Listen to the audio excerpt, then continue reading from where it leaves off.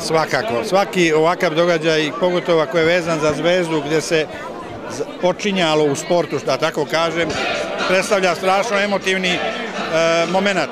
Tako da i ja sada prvo, i kad vidim mnogo ljudi koje dugo nisam video, i kad se setimo, evo gledali smo i te početke, onda čovjek dobije nešto posebno u osjećanju e, i sete, a i radosti zbog toga što je to bilo kako je bilo, a danas postoji na ovakav način.